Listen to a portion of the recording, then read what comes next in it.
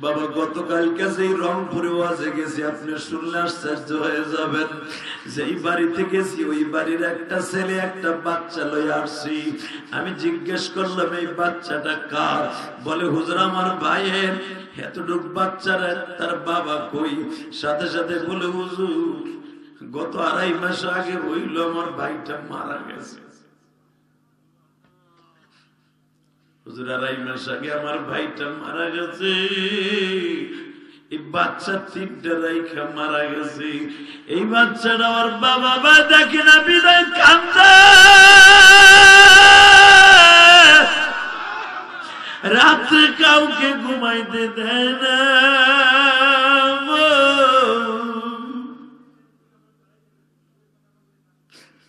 রাত্রে কেউকে ঘুমাইতে দেয় না। ও শুধু বাবা বাবা বলে যুবক বাইরে এই জমিনে যাদের বাবা মা নাই, ওর মতো দুঃখ আমি বাচ্চাটারে বুকের মধ্যে একটু আদর করে দিলাম। বারবার জিজ্ঞেস করলাম, ছেলেটার নাম কি বলে? আব্দুর রহমান। আমি বললাম, যাও, আমি দোয়া করে দিলাম, আল্লাহ যেন ওর হকানি আলেম বানাই যাদের বাবা কেউ নাই। চেয়ারম্যান বড় তাদের মনে কত কষ্ট টাকা পয়সা কম নাই। তাদের ধন সম্পদ আল্লাহ মান সম্মান কম দেয় নাই। কিন্তু সবচাইতে বড় অভাব এই দুনিয়ায় যার বাবা নাই, ওর মতো কষ্টের জিন্দগি আর কি।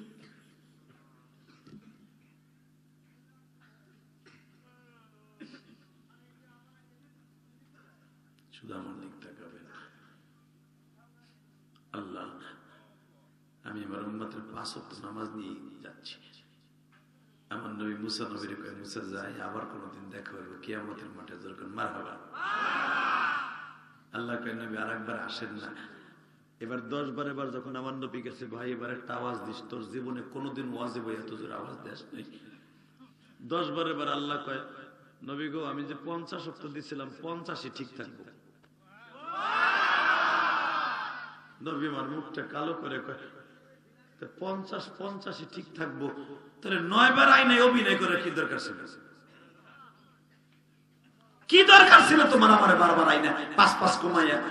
তুমি কইতে যে পঞ্চাশই থাকব, পড়লে পড়ল আমার উন্মত না পড়লে না পড়লে। ঘন্টায় দুই অক্ট নামাজ আমার উন্মত পাবো না, এটা আনযুক্তি। আমার আল্লাহ নবীর রাগ দেখে আরে আমার রহমতের নবীরে, আমার দয়ার নবীরে, আমার নবীতে রাগ করার কথা না? এবার আওয়াজ দিস ভাই। আল্লাহ বলে ফেললেন আসলে আমি যেটা বলি, এটা আপনার দেশের প্রেসিডেন্ট না গো নবী? আমি যেটা বলি ওটা আমি উল্টাই না। আমি যেটা করি, ওইটা, যেটা বলি, ওইটা করি। ও নবী, আপনার উম্মাত্রা আমি দিব, দিছি পাঁচ, পর্বে পাঁচ। আমি দেব পঞ্চাশ।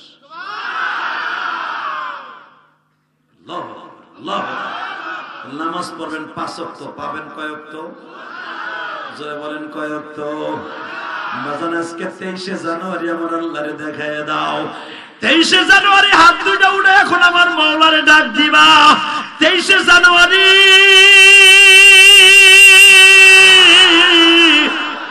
আল্লাহ দেখো তেইশে জানুয়ারি তার ওয়াদা দিছে, পঞ্চাশ অক্ত নামাজ পড়বে।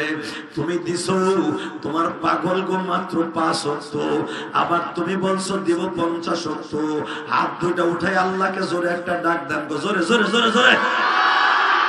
আল্লাহ, তুমি তেইশে জানুয়ারি দেখো। এই রাজুর মাদারীপুর, হোসেনপুরি নিওয়ানে। আল্লাহ, তুমি তোমার পাগলের মাদ্রাসায় বসিয়া চেয়ারম্যান সাহেবের ভাই, চেয়ারম্যান সাহেব সহ তাদের মাদ্রাসায় বসে হাত তুলছি মানি।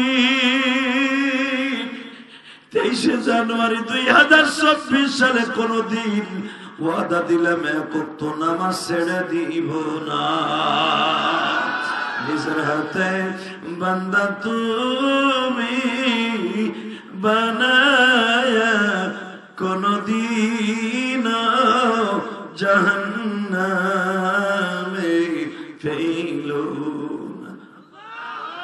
আল্লাহ এদের পাঁচ সপ্তাহ নামাজি বানাই দোজর কোন, আমিন আল্লাহ এদের পাঁচ ওয়াক্ত নামাজি বানায় দাও তাকান এইদিকে।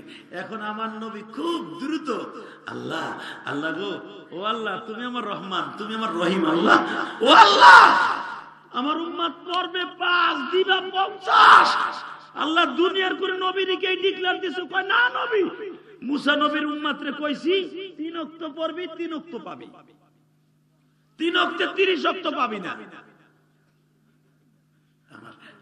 নবীবার বলে, আল্লাহ, তাহলে আমার উম্মাতের পঞ্চাশ দিলাকা এবার আওয়াজ দিয়ে আমার বাজান। ও আমার কলিজা টুকরা বাজান। দেখেন আমার নবী কি দরদের নবী রে। আল্লাহ তাহলে আমারে দিলাকা পাশে পঞ্চাশ। নবী গো, আমি আপনারে আর আপনার উন্মতরে অনেক ভালোবাসি। এটা আমি কই নাই বাজান, আমার আল্লাহ কইছে, যিনি আপনারা খাওয়ায়, লালন করে, পালন করে, এই আল্লাহ আমার নবীরে মিরাজের রাত্রে এই সাদে বলেছে আপনারও ভালোবাসি, আপনার উম্মাত্রও ভালোবাসি। এইবার আমার নবী একটা প্রশ্ন করছে বুখারীতে আল্লাহ, কেন আমার উম্মাত্রে ভালোবাসো? শুনবেন না? হ্যাঁ? আমার উম্মাদ এমন কি বৈশিষ্ট্য আছে যে তুমি ভালোবাসো? এই চেয়ারম্যানের পিছনে কিন্তু অনেক নেতা কোতা ঘুরে, অনেক পাইটু ঘুরে দেখবে। হ্যার লগে ঘুরে হ্যারটা খাইবো, আবার হ্যারে মার সময় পেলে বাসও দিব। এমন আছে না নাই? বহুত আছে, কিন্তু চেয়ারম্যান চেনে না। দেখবেন যে বেশি চেয়ারম্যানের লাগে বেশি দরদ দেয় ওই গরম ডিম দেয় সোলা সারাদা।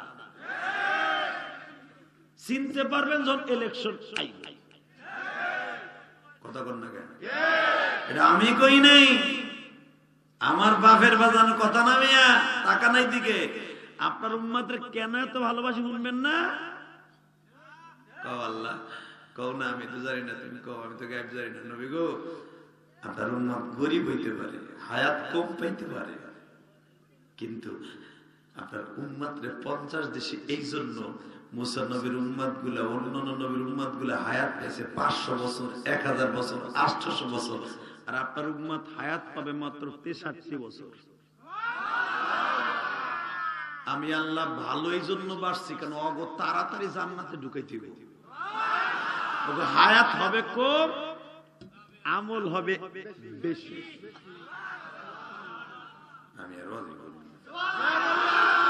এত একটা দামি কথা আল্লাহর কথা তুমি নিজে মারতাছ খিচুড়ি চিন্তা করতাছ। এবার আওয়াজ ঠিকই মনে করব খেসুরি চিন্তা করতাছ।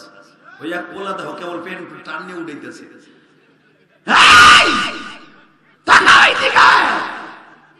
আমার আল্লাহ বলে নবী আপনার উম্মতের হায়াত কম। তাদের আমল আমি এই জন্য বেশি দিছি সমস্ত উম্মতের আগে জান্নাতে ঢুকাবো এই জন্য। আল্লাহ আমার উম্মাতরে একই কত দিবা? ডাইরেক্ট আল্লাহ কোরআনে বলেন মানজাবিল হাসানাতি ফালাহু আশরাম সালিহা। আপনার উম্মাত করবে এক আমি দিব 10 যদি প্রেম লাগায় করে একে 10 না আমি দেব 70 70 না, আমি আল্লাহ দেব 70 হাজার।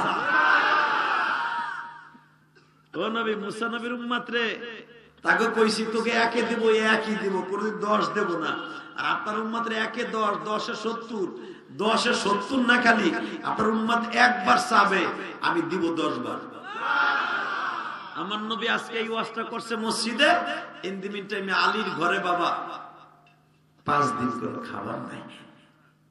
মার করেন না। কয়দিন জোরে আরও জোরে।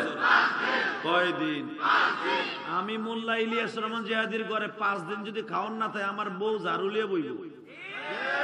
এবার তুই ওয়াজ মারাস তোর ঘরে খাওয়ান না এবার তুই কি এর ওয়াজ মারাস? ওই চেয়ারম্যানের বউ যদি দেখে যে তেল নাই চেয়ারম্যানই করো ঘরের খবর নিও ঘরে আইসো। কেন ওখানে তো আর কোনো চেয়ারম্যানগিরি চলবো না? কথা কর না কেন? কোন মৌলানাগিরি চলে না মিয়া ও এমন ভগবানের খুশি ওই জায়গাটা। ঠিক না বেটে।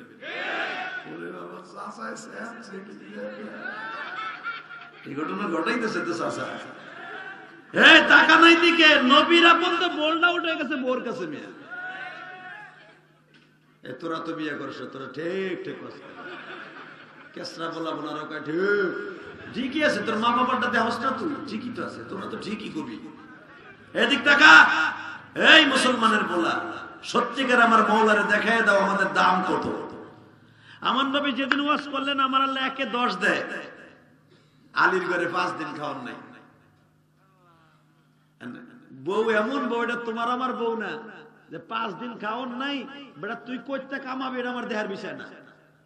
ঘরে খাওন দিবি পোলা বানে তোর কপালে পাঁচ ডলন দিয়ে পোলা বানলে আমি যাব গার্মেন্টে চাকরি করে খাব, ঠিক না বেটি? আকাম্মা বেটা কামাই করতে পারছ বিয়ে করছিস? এইগুলা হুডাই সস্কায় এই বাংলাও দেয় দেয় না?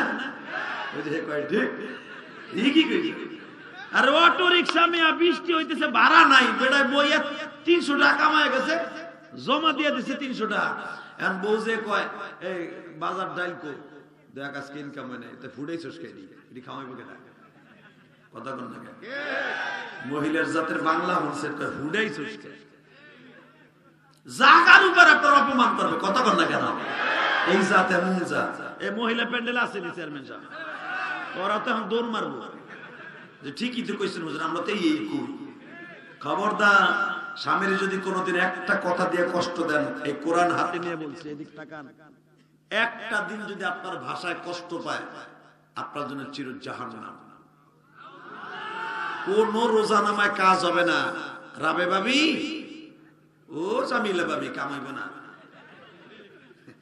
রাবি যদি থাই থাই আমি তোমার মগারে রাত্রে এই কাম করি। আরে ঘুষাই কি লেই খাওন দেয় না দিয়ে খাবারদার, এটা করা যাবে না। আল্লাহ আমার মা বোনদেরকে হেফাজত করেন। আরও জোর না আমি ফাতেমার ঘরে কয়দিন খাওয়ান নাই? জোরে গন আরও জোরে। স্বামী স্ত্রী পরামর্শ বসে দেখেন, আমি ফাতেমার তো মোটামুটি পাঁচটা ফলামান হয়ে গেল। ফাতেমার ছেলে মেয়ে কয়টা জানেন? একদিন তো জানতেন দুইটা। হাসান হোসেন, না? ফাতেমার ছেলে মেয়ে কয়জন? ওই যে চাচার কপালে কেমন উঠে রয়েছে। ভাই আবার কয় কি বাবা, পাঁচটা ফলামান ফাতেমা আজ থেকে নেন আমার কাছে কয়টা?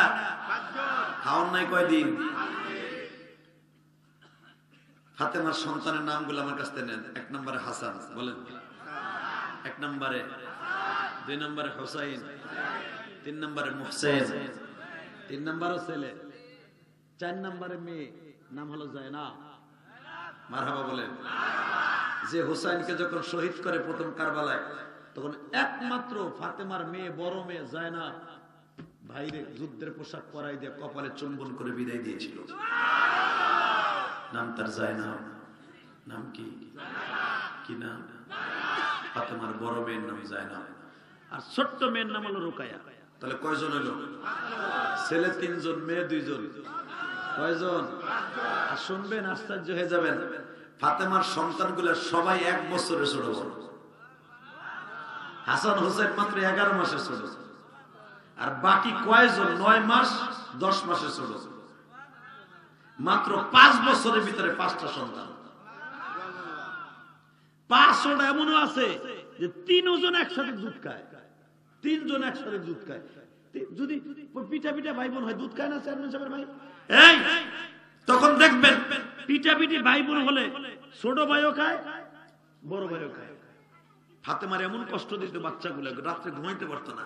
তো পাঁচ বছরে পাঁচটা বাচ্চা, ঘরে পাঁচ দিন খাওয়ার নাই, স্বামী স্ত্রীর পরামর্শ হয়েছে আমরা না না খাইলাম, এই বাচ্চাগুলো কি হইবে চিন্তা করেন না। আলী বলে, দেখো, এক সপ্তাহ ধরে বৃষ্টি হইতেছে, কাম নাই। আমার কলিজার ভাইরা আমার, আমি ইলিয়াস রহমান জিহাদির ঘরে খাওয়ানোর অভাব নেই, ভাইজানের ঘরে খাবারের অভাব নেই, চেয়ারম্যান সাহেবের ঘরে খাবার অভাব নেই, একটা অটো রিক্সা চালাইলো তার ঘরে খাবারের অভাব নেই। ঠিক না বেটি কিন্তু দুজাহানের বাচ্চার মেয়ে ঘরে খাবার নেই স্বামী আর স্ত্রী পরামর্শ করছে, আমার মা, যারা আমার কথা শুনছেন গো মা, পরামর্শে বয়ে ফাতিরা বলতেছে, ঘরে তো তেমন কিছু বিক্রি করার মতো নাই গো হাসানের বাবা। তবে আমার কাছে একটা জিনিস আছে কি? এই যে আমার একটা পাঁচ বড়ি ওজনের একটা গলার হার আছে। এইটা বিক্রি করে অন্তত কয়েক মাস চলা যাবে। আলী বলে, ফাতেমা রে, এই হাটটা আমি বিক্রি করতে পারব না। কারণ এটা তোমার মা, অর্থাৎ আমার শাশুড়ির স্মৃতি।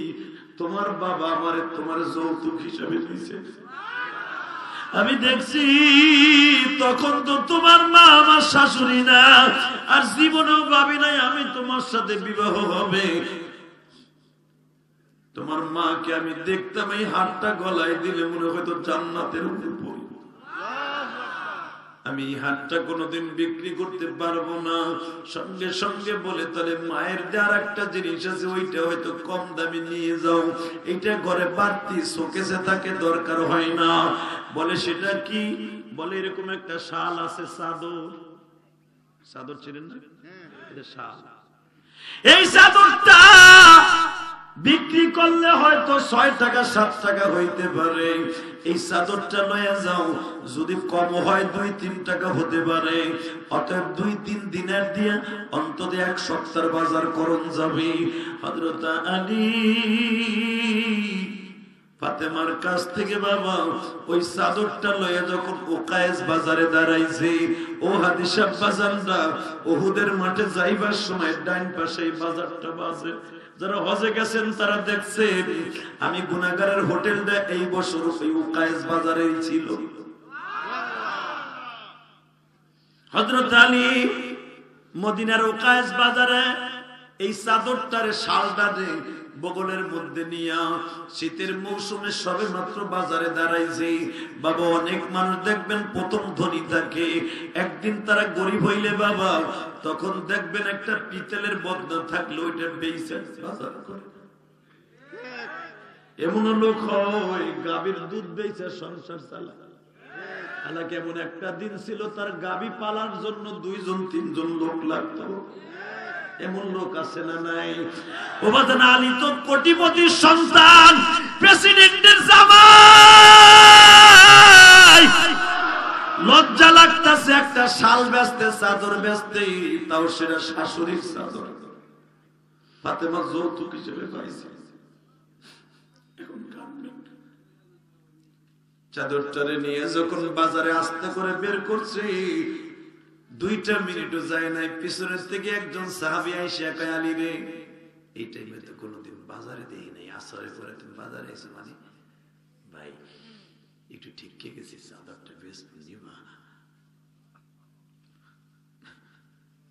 যার সন্তানের সিগনেচার ছাড়া হাসান হোসেন সিগনেচার ছাড়া দুনিয়ার কোন মানুষ জানাতে যাবে না। তাকে পেটের খাবার দেওয়ার জন্য চাদর বেচতে হয়েছে। বাপ কানে খোয়াই ভাই, কারও কাছে কয়েন না, আমার শ্বশুর তো প্রেসিডেন্ট জানেন। এটা মুনাফিকরা শুনলে তারা ভাইরাল করে দিব আমারে। যা দেবেন, দেন, আমি বাজার সন্ধ্যায় আসতেছে। চাদরটারে চোখে মুখে লাগাই কান্দা দিয়ে আলি এই চাদরটা আমার খুব দরকার। এই চাদরটা যেন আমার কাপড় নয় তোর হাতের চাদর আলি। নবী বারবার বলে, আনা বাবুহা। আমি শহরে এলে আমার দরজা হলো আলী। দরজা ছাড়া তো ঘরের কোনো দাম নাই। আলী। যাই, চাদরটা আমি নিলাম। কয় টাকা দেবো আলী? ভাই, আপনি যা দেবেন দেন। কয়টা? দুই তিনটাই দাম হইব, যা দেন দেন। না, আলী আমার পকেটে ছয় টাকা আছে, ছয় টাকাই নেই। বেশি থাকলে আরও দিতাম আমি। ছয় টাকা আছে, ছয় টাকাই নেই। বাবা, এখন বিনয় বিনয় কানবেন। আপনার সংসার অভাব থাকবে না। মা, আপনার সংসার অভাব থাকবে না। মা, আপনিও এখন কানবেন। দেখেন তো ফাতেমার মতো পারেন কিনা, মা? যখনই ছয় টাকা দিয়ে নিয়ে জায়গা আলী বাজারের দিকে রওনা দিচ্ছে বাজার করবে। এতদিন পরে সন্তানের জন্য খাবার কিনবে। হঠাৎ করে আমানের থেকে একটা লোক আসছে। সুদানি একটা কালো এসে কয়, আলী রে, আমি এক মাস ধরে মদিনায় এসেছি আমি তোমার চিনি, তুমি নবীর জামাই না হ্যাঁ? তোমাকে তো দয়া বেশি কয় হ্যাঁ? আমার মাত্র কিছুটা টাকা হইলে আমি দেশে যাইতে পারি আমি দেশে যাইতে পারি না। আলী বেলা, আরে, খয়রাতের উপরে জাগা। আমার ঘরে নাই পাঁচ দিন খাওয়ার আগে বলে, দেশে যেতে পারে না, পোলাপানের কাছে। দূর, আমার পোলা পোলাপানের বাজার পরে করুন। ভাই, তুমি ছয় টাকা নেও তো। তো আসতে কইলেন এটা যদি আমি ইলিয়াস রহমান জেহাদি হইতাম, প্রথম সঙ্গে ঠেঙ্গা দিতাম আর কইতাম, বেড়া, আমার ঘরে নাই, পাঁচ দিন করে উনি যেন দান করার লাগে। আলী বলেন, দূর, আমার আল্লাহ কোরআনে কইছে, যে ব্যক্তি কাজায় হাজত পুরে করে দেবে, কোন ভিক্ষুকে আগে টাকা দেবে, আমি আল্লাহ তাকে আগে দিব। জান্নাতের আশায় যা আমার পোলাবন না খায় থাকে, থাকুক গা। ছয় টাকা দিয়ে দিছে। ছয় টাকা দিয়ে বেশি দূর যায় নাই। ওই লোক দোয়া করে দিয়ে গেল, আল্লাহ, আমার আলীরে একে দশ দিও।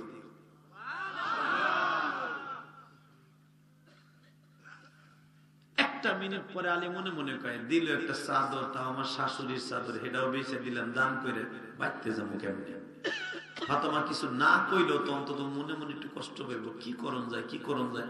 কারও কাছে ধারও তো চাইতে পাবো না। ইন্দিমিন টাইমে মনে মনে কয় দেখি না কি করণ যায় কি করে হঠাৎ করে দেয় পাঁচ মিনিট পরে একজন। ওই জামানার সবচাইতে দামি একটা উট লাল উট অনেক দামি একটা উট। আলীর সামনে এটা কিনবানি ধরবে খাই কাম নাই। পকেট একটা আরে ভাই আমি বাকিতে বেশি।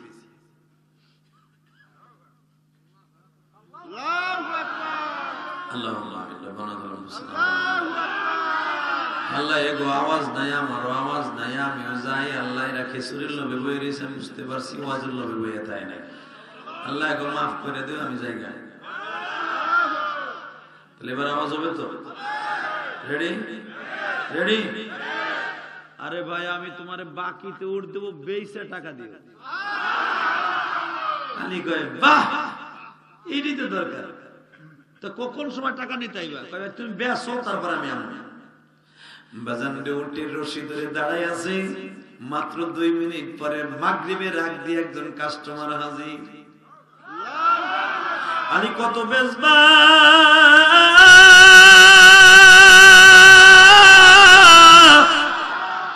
যদি আলীর গাড়িতে জান্নাতে যাইতে চান, এই হাদিসটা ভালো করে মনে রাখবেন। নবী আমার বলে তাজির সুদুকুল আমিন মান নাবিয়িন সিদ্দিকিন ওয়া সালিহিন। ব্যবসা করেন না এই শুনে হ্যাঁ, যে ব্যক্তি সত্যিকার সত্য কথা কয়ে ব্যবসা করবে আর তাজির সুদুকুল আমিন আমিন মানে সত্যিকার। বইলা সিডা দিয়ে কিনবে ভাই আমার দশ টাকা দিয়ে কিনা আমি সাড়ে দশ টাকা বেচবো আট আনা লাভ লাভ। নিলে নাও না নিলে না নাও। অন্য দোকান থেকে বাবা, তার দোকানে সেল হবে বেশি, ওই দোকানে বেচবে বেশি, লাভ হবে তোমার দোকানে সেল বেশি বিদা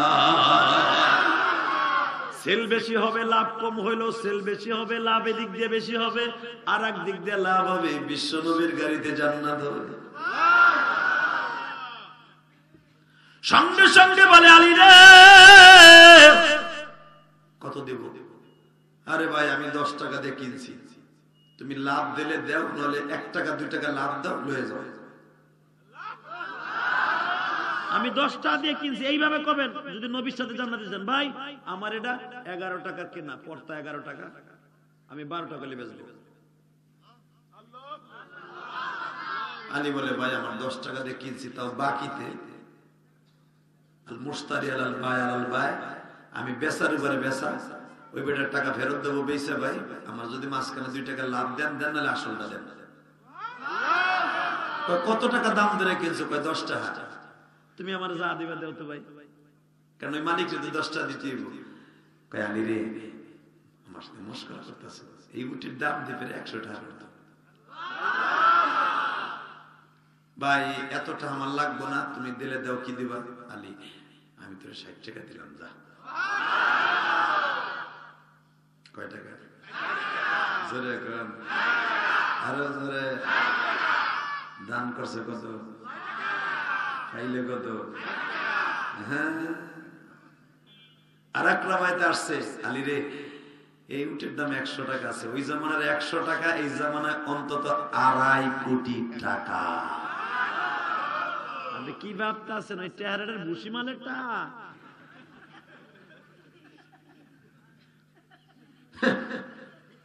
আলী রে, একশো টাকা দাম আছে, আমি সত্তর টাকা দিলাম।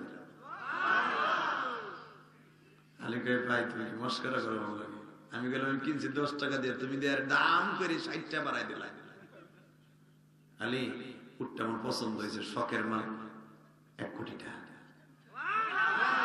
তোমার অপরচন মিটু তোমার যতটুক দরকার হলো, আর বাকিটা নবীর কাছে বাইতুল মালে পৌঁছাই দিবে।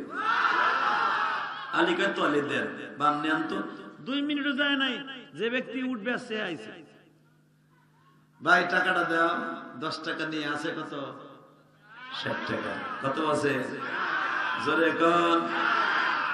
বাজানরে ষাট টাকা নিয়ে আলী এখানে আলী আছে। আলী এখন শেরে খোদা আলী হয়ে গেছে। আল্লাহর বাঘ হয়ে গেছে। লাভ দিয়ে তারা পকেট রে। দোকান কয়টা হ্যাঁ? গাড়ি মাল লোড দে। কারণ দুইটা হইলে দোকান সুদ্ধা কেন যাইতো। বললেন না? চেঙ্গিস খানের আমলে একটা হয় আট মন চাউল।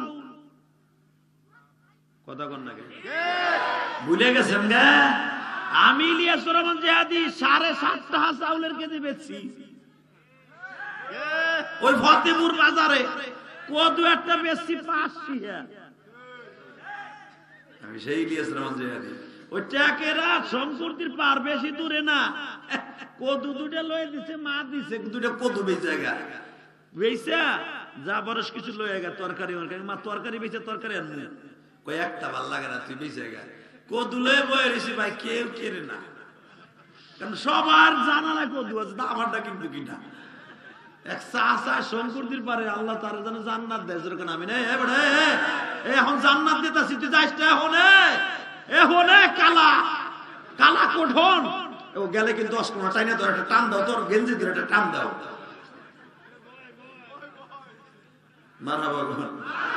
এই শঙ্করদির পারে যে কোরআন হাতে নিয়ে কইছে, মিথ্যা কথা আমি কই না। কদু দুটা কেউ নেয় না। লাস্ট এক চাষা সন্ধ্যার দিকে একা একাই বেড়া, তুই তো বই অনেক সময়। আমার দোকানে থুয়ে যা, সকালে বেশ আমি আমি গেছি আচ্ছা নেন আমি ব্যস্ত না আমি কাঁদিয়ে দিছি।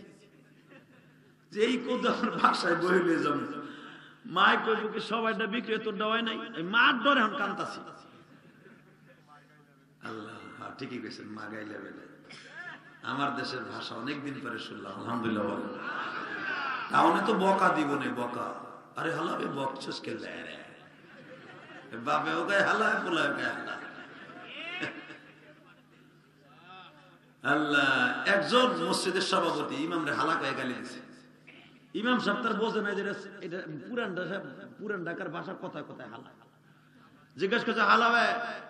আমার বাসায় দাওয়াত আছে, খায়েন, হালাবে যায় না যা পারে খাওয়াই দিব না হালাবে যা হবে যায় ইমাম সাহেবের মাইন্ডে লেগেছে আইলাম, দেড় মাস ওয়াজ বেড়াই চাকরি করতে যেতে আমার প্রত্যেক কথা হালা করে এই সভাপতির গোষ্ঠী কিলা আমি আমি থাকব না? তো এক নোয়াখালীর কাছে বিচার দিছে। হে আবার ঢাকাইয়া না। শুনেন, হইতে পারে আমি গরিবের বলা, ইমামতি ইমাম সাহেব, আমার হালা কয় গালি দেয় গালি নোয়াখালীলে কয়, আমরা হালাবে কইছে কেন? হালা কইছে কেন? তা জানি না। তো নোয়াখালী সব কমিটির লোকরা ডেকে ডেকে কয়, সভাপতি নেই খাসলা হে ইমাম সাহেব, হালা কইছে। তো সবাই ডাক্কে নিয়ে নিয়ে কয়, আপনি কেমন ঠিক করলেন? আপনি এলাকার শিল্পপতি, আপনি ইমাম সাহেব হালা কোন হালাই কইছে কোন হালাবে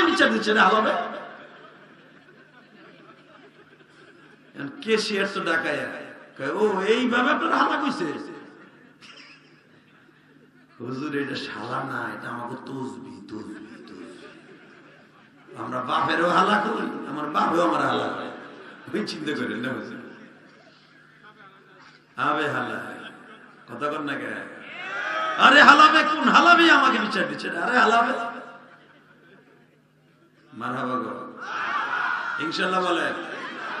কষ্ট হইতেছে না।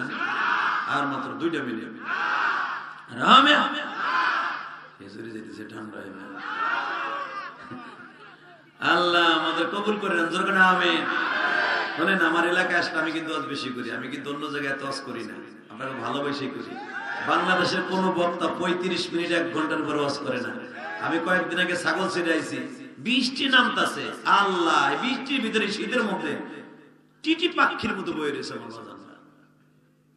এটা আমার এলেমের বাহাদুরিনের বক্তৃতার বাহাদুরি এটা আপনাদের দোয়া। আমি আপনাদের ইলিয়াস মার হাবা টাকা নিয়ে দিবে আরে দে দোকান সুদ্ধা দে। আলী মালে দান করব।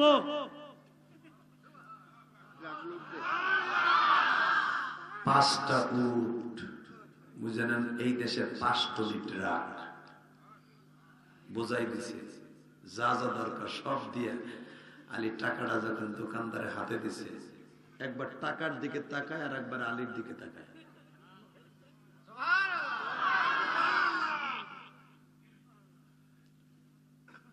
টাকার দিকে তাকায় আলীরে বলে, আরও লাগবে? না, আর লাগবে না, যান।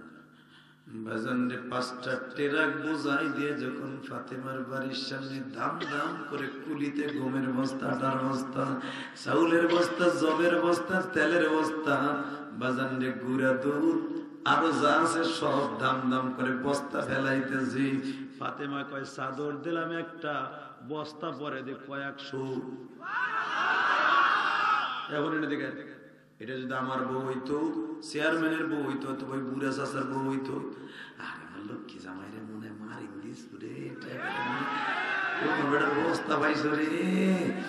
এক অটো থেকে ছিলে মনে হয় টাকার ব্যাগ ফেলাই থেকে গেছে গারে আরে আমার লক্ষ্মী আমার লক্ষ্মী রে। পাঁচ বড়ি স্বর্ণ বানাতে পারব গো। কথা কন না কেন? এটা তো নবীর বিটি ফাতেমাকে কিরে চাদর দিলাম একটা, বেচতে পারবা চারটা কি দুইটা? এত বস্তা কে? আল্লাহ দিছে, আল্লাহ পরে দিছে, ওটা পরে আমি জানি আল্লাহ দিলে সব পারে। আল্লাহ দেয় সাপুর ভেঙে দেয়। সাপ ফাড়াইয়াও দিলে দিতে পারে, ঠিক না ম্যাডাম? কিন্তু আগে আব্বার কাছে চলো। ওখানে যে শুনব এখানে কোনো কথা নেই হেডকোয়ার্টারে চলো। এ, তোর গম থাক, মাল লোড দিয়ে থাক। বাজান দেবার দিলটা নরম করবেন, কানবেন ফাতেমারে যখন দেখলেন, আমার নবী আমার নবী এই টাইমে তো আসার কথা জামাই, মাই একসাথে কিছুই বুঝলাম না। ফাতেমা বলে বাবা, আমি ফাতেমা তো জীবনে হারাম খাব না। তুমিও তো জীবনে হারাম খাইবে না। বাবা গো, টাকা দিলাম। কয়টা? মাল দিলাম একটা। বেচলো কয় টাকা? বাজার করল কয় টাকা? নবী আমার বলে, মা, কি দিছিলি? আর কয় না। মা, কি বেচতে দিছিলি? মা, তুই না করলে তাহলে শোন, বালিশটা উঁচা করিয়া চাদরটা টান দিয়া কয়, মা, দেখ, তুই এটা ব্যস্তে দিছিলি কিনা? ও বাবা, এই চাদরি তো দিছিলাম। মা, তুই কেমনে ভাবলি এই চাদর পৃথিবীর কে কিনে নিব? তুই যখন পাঁচ দিন খাবার নাই, আমার হাসান হোসেন মহসেন জয়নব রুকাইয়া পাঁচ দিন খানা নাই তুই দেখছ আমার বাড়িতেও খাবার নাই। স্বামী স্ত্রী পরামর্শ কইরা মা চাদর দিছ, তুই তো জানোস, এই চাদরটা তোর মা শীতকালে গায়ে দিত। এই শালটা তোর মা দিত অর্ধেক, আমি দিতাম অর্ধেক। তোর বাবা যখন কোরআন লইয়া হেরা পর্বত থেকে আসলে জ্বর উঠে যাইতো, এই চাদর দিয়ে তোর মা আমারে সাইফে ধরতো। মা যে চাদরের সাথে তোর মায়ের ঘাম আমার শরীরের ঘাম লাইগে এই চাদর কে কিনবে এই চাদর কে কিনবে? তুই ভাবলি আসবে না? মা, জিব্রাইল আমার কাছে বলে দিছে।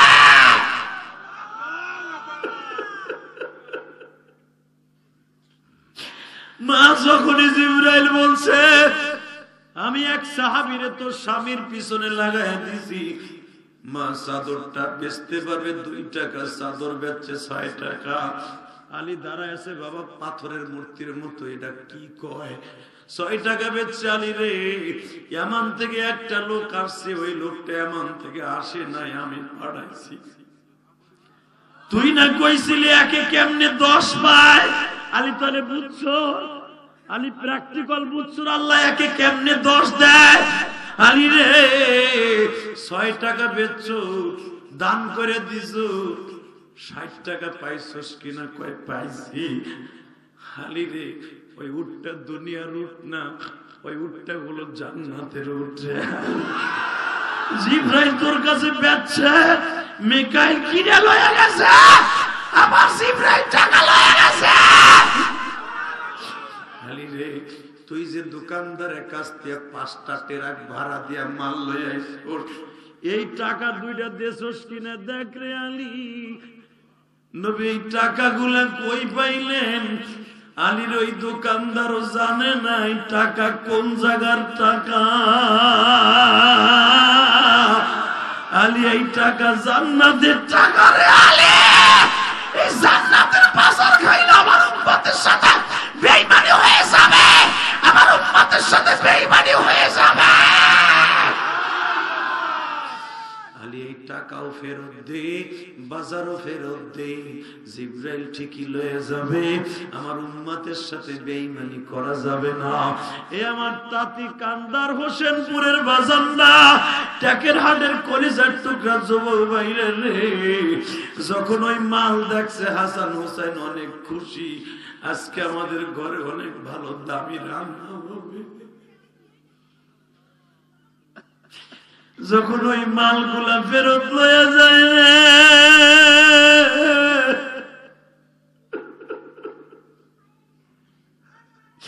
ফাতেমা কান্দার কয় হাসান রে বাবা, তোমার নানা উম্মতের কান্দারি।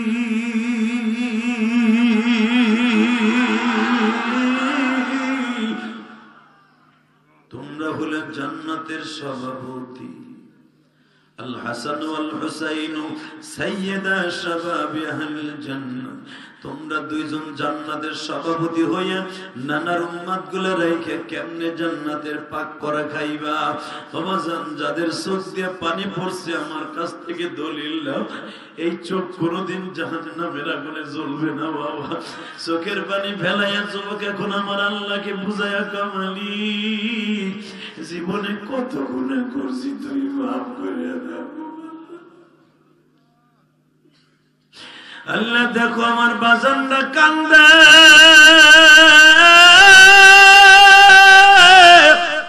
কোন বাসানদের যেন আমার মতো মা নাই বাবা আমার মা জীবনে শেষ বিদায় দিল বাবা। ওই যে ফতেপুর খেওয়া ঘাটে বসিয়া আমার মা বলছিল যাও গো বাবা, যাও। তোমার বাস শুনিয়া কত মায়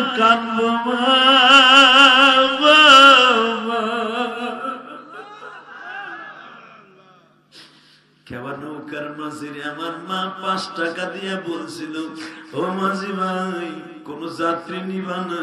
আমার ইলিয়াস রে সুইচ গেট নামায় দিবা। বাজান আপনারা তো আমার এলাকার মানুষ, সবই তো চিনেন গো বাবা। তখন এই বিনি ব্রিজটা হয় নাই, ফেরি চলাচল করত। ওই ফতেপুর বাবা সুইচ গেটের ওইখানে তিন গাঙ্গের মোড় অনেক সড়ক ছিল। আমার মা মনে করছে, কোন যাত্রী উঠলে যদি আমার ইলিয়াস তলায় যায়, নৌকাটা ডুবে যায়।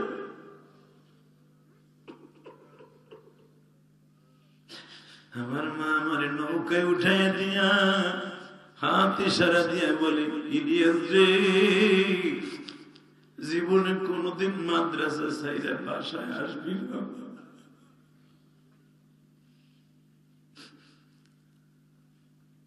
চেয়ারম্যানের ভাইরা মিলিয়ে মাদ্রাসা করল বাবা মায়ের জন্য। আল্লাহ তার বাবা মাকে মাফ করে দাও। যারা কবরে চলে গেছে জান্নাত দিয়ে দাও। আল্লাহ বাবা মায়ের এত পাগল এই সন্তান দুটি। লক্ষ লক্ষ টাকা খরচ করছে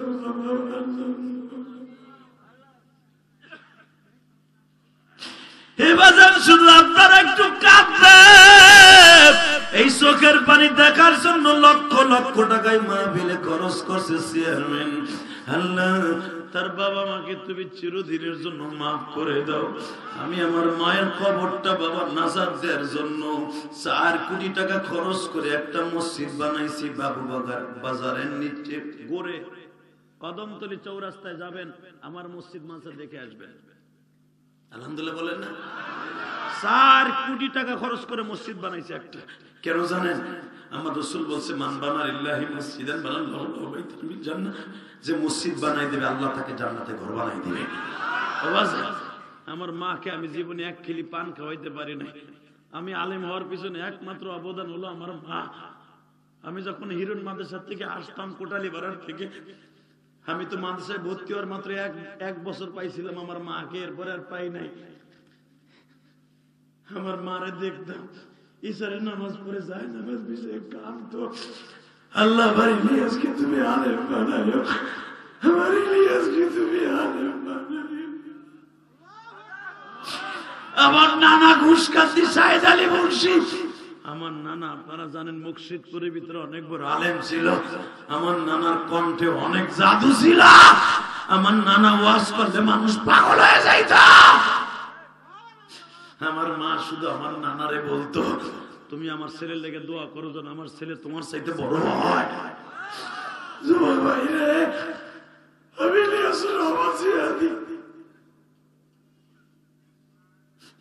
আমার মায়ের কষ্ট বুকি নিয়ে ঘুরি গতকালকে হাজার হাজার যুবক, অন্তত পঞ্চাশ থেকে ষাট হাজার মানুষ হয়েছে মাহফিলে। সবাই কেঁদেছে, তোমরাও কাঁদছো বাবা। আমি আল্লাহকে বলি, আল্লাহ, সবাই আমার আত্মীয় স্বজন এখানে। হাবিবুর রহমান চেয়ারম্যান আমার আত্মার আত্মীয়। তার আমি আগে চিনতাম নয়, বৃষ্টির মধ্যে অজের পরে তার সাথে আমার প্রথম দেখা। আর একবার দেখা হয়েছিল হোসেনপুর। আমি শুধু তোমাদের দুটা পাও ধরে বলে দিয়ে যাই। বাবা আমি যদি আমার মায়ের জন্য মসজিদ বানাইতে পারি, কোটি কোটি টাকা খরচ কইরা যুবক তোরা যতদিন বাঁচবি, ওয়াদা দেয় মসজিদ, মাদ্রাসা বানাইতে হবে না, নামাজ পড়ে পরে মা বাবার জন্য দোয়া করবি। রাজি আসোস না ভাই, রাজি আসোস না? রাজি আসোস না, দাদা ভাই, রাজি আসোস না? নামা হাত নামা শুধু আমি তোদের দুইটা পাও ধরছি, আমার ব্যবসা ছাড়া কান্দে, যারা জীবনেও আছে কান্দে নেই। আল্লাহ যুবকদেরকে তুমি কোটি কোটি টাকার মালিক বানায় দিবা। আমি যদি পারি কোটি কোটি টাকা খরচ করে আমার মায়ের জন্য মসজিদ মাদ্রাসা বানাইতে তিনখানা বানাইতে আমার চেয়ারম্যানের ভাই চেয়ারম্যান সহ এতিমখানা বানিয়েছে। আল্লাহ তার বাবা মাকে মাফ করে দাও। আপনার আব্বা আম্মা তো নাই তাই না? ভাই? আল্লাহ তাদের কবরটা জান্নাতের বাগান বানায় দাও। দেখো পাওটা অসুস্থ মানুষ। পাওটা হয়তো লম্বা করে বসছে। বয়ে বয়ে কামতাছে মনে মনে ভাবতাছে যে, হাদি ভাই, আজকে যদি আমার বাবা থাকতো, আমার আব্বা কত খুশি হইতো। আল্লাহ যাদের অবদান, হাজার হাজার মানুষের কবরস্থানে ঘুমাবে আর তার বাবা কবরে জান্নাতে থাকবে। আল্লাহ আমার কাছে দিবার মতো কিছুই নাই।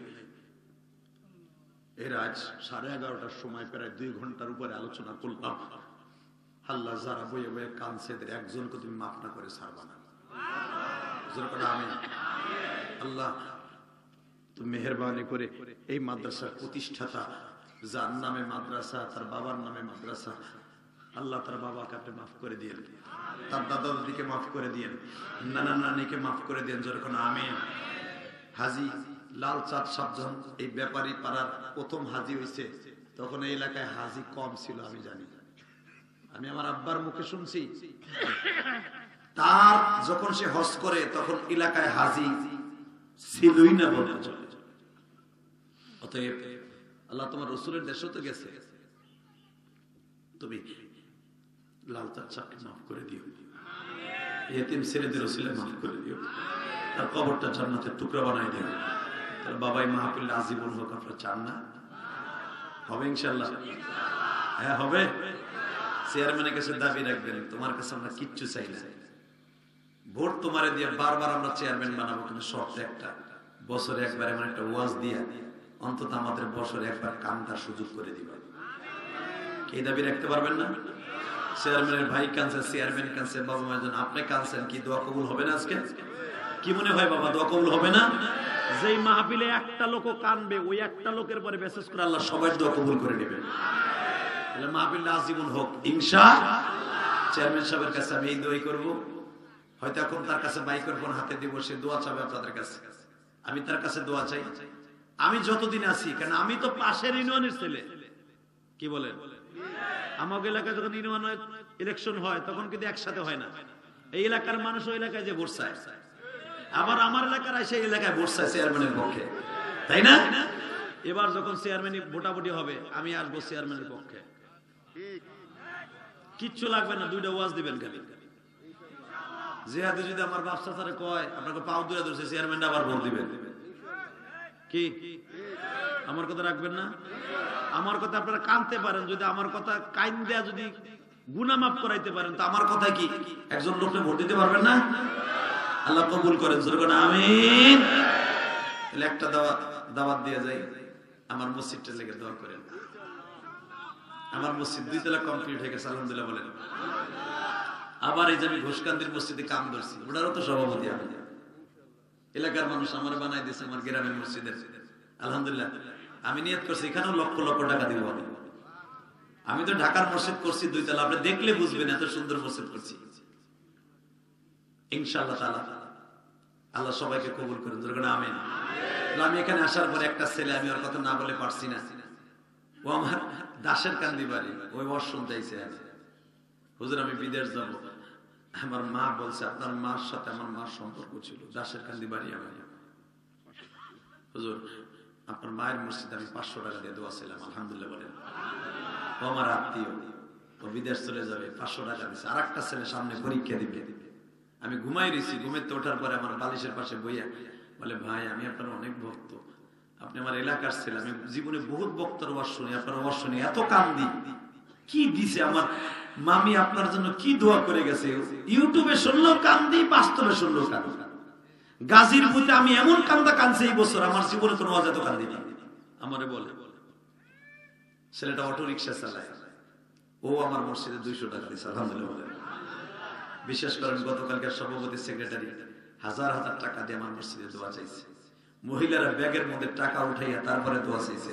আমি আমার মা বোনদের কাছে তোমাদের কাছে কিচ্ছু চাই না। শুধু দোয়া চাই যেন তোমার এই ভাই মসজিদটা করে কবরে যেতে পারে। ইনশা পাঁচতলা মসজিদ করব, আমার জীবনে আর কোনো আশা নেই। আর গোসকান্দির মসজিদটা যেন আল্লাহ সুন্দর করার তৌফিক দান করে। এই আশা ব্যক্ত করে বিদায় নিব। যারা দাঁড়ায় আছে, বসে বসে। আমি তো বুঝছি লাস্টে কিনলে গাইছো আয়। আয়, বুঝছি, আয়। আয় যে দেখ দেখ সুস্থ আয়। তারপরে দোয়া করে দিয়ে যা। দাঁড়ায় থাকিস না, এই যে দুলাবাড়ি বলা বহ। বহ। আল্লাহ কবুল করেন যেরকম আমি তাহলে মনে হয় পানি খিচুড়ি, তাই না, চেয়ারম্যান সাহেব? এটা তোর প্যাকেট না। যে মোনাজাতের আগে দিব মোনাজাতের পরে আপনারা খেয়ে চেয়ারম্যানের বাবার জন্য দোয়া করবেন দোয়া করবেন, আগে খাবেন পরে। মাগনা খেয়ে যাবেন। সে কি আপনার কাছে টাকা নিছে? চান্দা নিছে? এটা দোয়া করবেন না কেন? খাবেনও ওয়া তো শুনলেন মাগ না দোয়াও করবেন মাগ না ইনশাল্লাহ দোয়া কম করতে কম কম করবেন না। ইনশা আসেন তবা করে রব্বি মিন জামবে অত সবাই দোয়া করবেন আমার জন্য?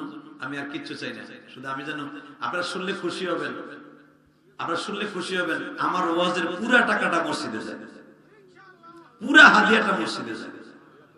কারণ এই চার কোটি টাকা তার আমার বাপের খ্যাত বেছে নেই নেই বাবা টাকা আমি আমার বাপের কাছ থেকে একটা টাকাও কোনোদিন নিয়ে কই নেই, আব্বা, আমি মসজিদ নজর করব। এই যে আপনারা যে টাকা আমারে দেন, এই টাকা দিয়ে আল্লাহর ঘর আমি করছি। মসজিদ করছি, আমার মাদ্রাসায় দুইশোর উপরে ছাত্র। তাহলে আমারে দিবেন না দিবেন কেন আপনারা? আমি তো আপনার ছেলে, আমি আপনার ভাই, অতএব মেহরবানি করে আপনারা সবাই আমার জন্য দোয়া করবেন। আল্লাহ যেন আমাকে মসজিদটা পাঁচতলা করে কবরে জড় তফিক দান করে। আল্লাহ চেয়ারম্যান সাহেবের এই মাদ্রাসাকে আপনি বিল্ডিং এ রূপান্তরিত করে হাজার হাজার ছেলের ব্যবস্থা করে দিবা তার বাবা কবরে শান্তি থাকবে যেরকম আমি এই মাদ্রাসা যে সে চেয়ারম্যান সাহেবকে চিরদিন পয়সা থাকবে। এই মাদ্রাসা আপনারা দেখে রাখবেন। ইনশা, আর সে যে মাহফিল চালু করে দিয়ে গেলে মাহফিল আপনারা আজীবন ধরে রাখবেন। ইনশা, এই চেয়ারম্যানে দেন, কথা বল। দেন বড় করে দেন। আপনি গরম হয়ে দেন চেয়ারম্যানে দেন।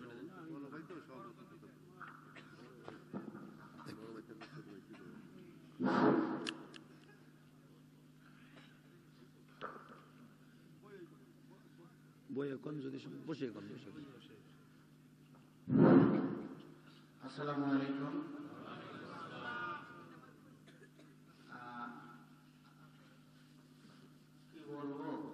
uh,